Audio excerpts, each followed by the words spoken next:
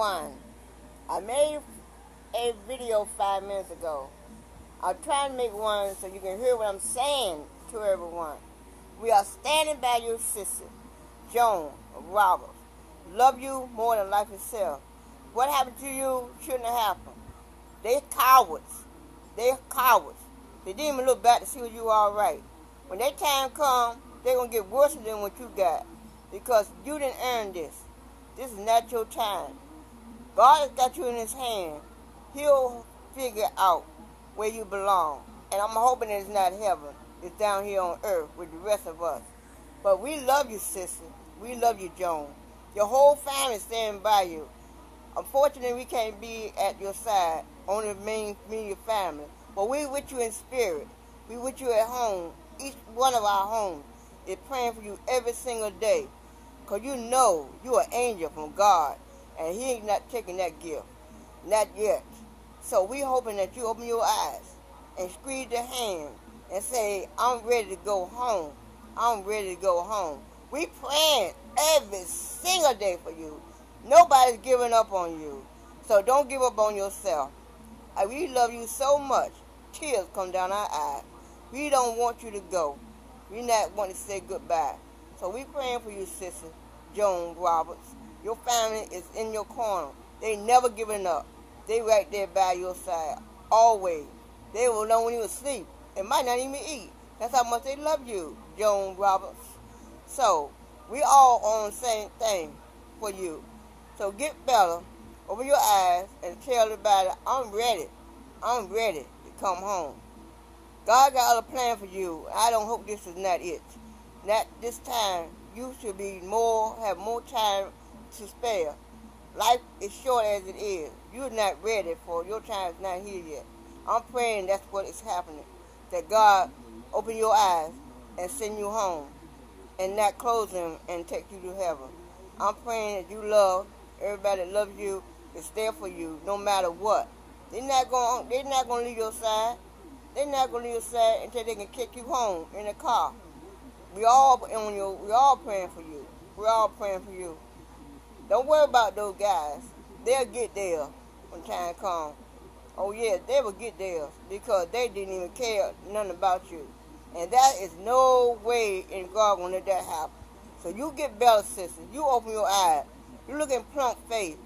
Her tears is coming down. All the rest of them got tears coming down their face. Because they love you that much. And so do we all. So you get better soon. You get better, Joan. We love you. We love you. We love you. Now, on another subject, I'm still thinking about you with another subject. Everybody, I want you to go out and vote when time comes.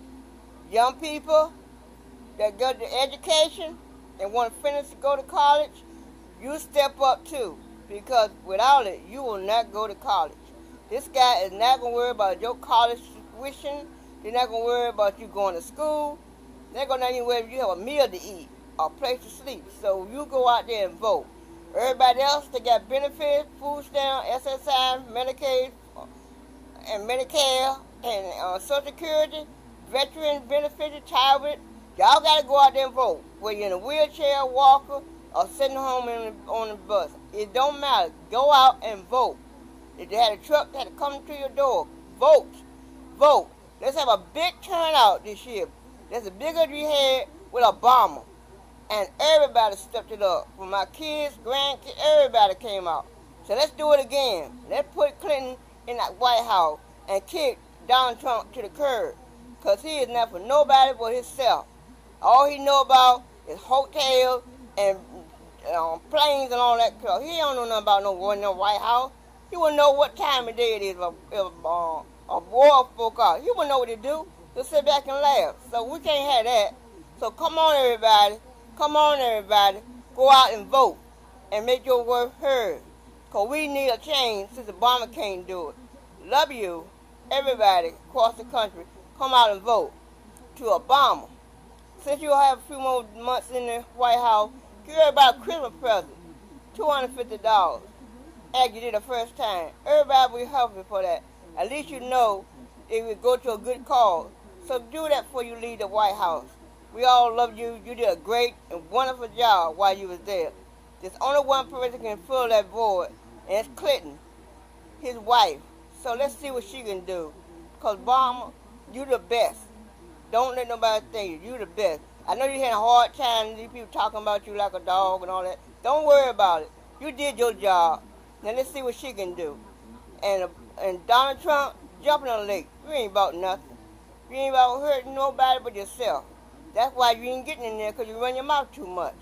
So for everybody else, let's come together and vote. And vote for the woman, right person for the job. Clinton's wife.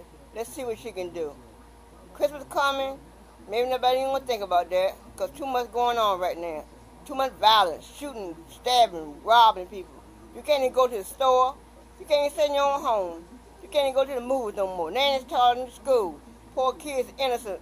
What in the world coming to? We have to stop it. People out there, watch your kids. Take them to school and make sure you check them when you get off the bus. You don't need no more accidents. We love and we hope the kids are safe. For everybody here from the Lord Mackey Mitchell, love you. Take a day. Nice day.